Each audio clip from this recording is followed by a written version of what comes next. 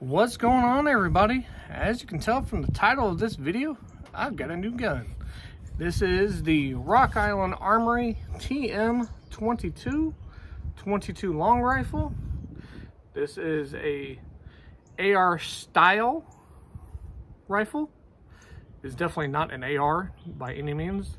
The lower, it's all one uh, unit. You can't swap out the upper or anything like that. You can for a regular uh, regular AR. Now, I'm going to go over the good and the bad with this. Uh, I just got it, uh, ordered it off of a website. I don't want to get myself in trouble for uh, saying anything, but it went to my FFL. I did my background check, all that kind of stuff. Now, the rifle itself. As you can see, it is a uh, AR style rifle. AR handguards, carrying handle. It does have a Picatinny rail uh, underneath this that you can take off the, uh, the handguard. I mean, the, the carrying handle. Adjustable uh, buttstock for your length of pole. Front sight is uh, mounted on there.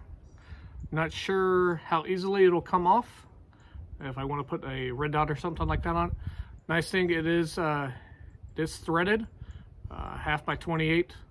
Some of the uh, first models of this, this is a the newer version of this. The original models that came out with this had a solid uh, buttstock with just a kind of like a plate at the back end. Uh, so it was not adjustable or anything. And the actual thread uh, for up front was actually 5 eighths as opposed to a half inch, which would be is standard for any uh, 22. It comes with uh, two 10 round magazines. Uh, they're plastic. Now this is made in Turkey. I have owned uh, quite a few firearms from Turkey. They make uh, very quality uh, firearms over there. Thing is light. I want to say it says that it's like six pounds, but I don't think it is. And it's very compact. Now, here's my two cons on it right away. One, that's your charging handle right here. It's just a little pokey stick out thing with some serrations on it. I, I don't like it. There's not really enough meat for me to get a good hook on. And this is what I really don't like.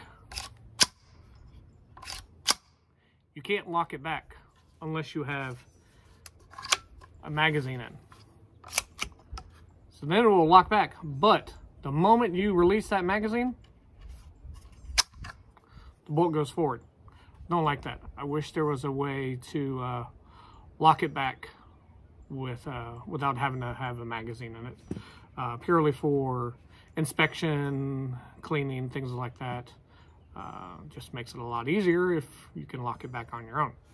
Uh, one of the other things that is different with this is the safety. It is down to fire and up to safe. It's normally uh, backwards uh, on what's on most rifles, but it's not a big deal for me and everything. But yeah, this is just the initial. We follow this up uh, with some shooting videos. Uh, the carrying handle is uh, adjustable uh, sights for windage and elevation, both on the front, uh, back and the front. So you can use uh, regular iron sights, which is basically what these are. I enjoy iron sights. I was not a expert shooter, but I shot good enough to shoot out to 300 yards. This will not go out to 300 yards uh, due to the bullet drop and everything like that. But hey, you know, it's something fun to play with. Uh, you guys got questions, let me know. Talk to y'all later.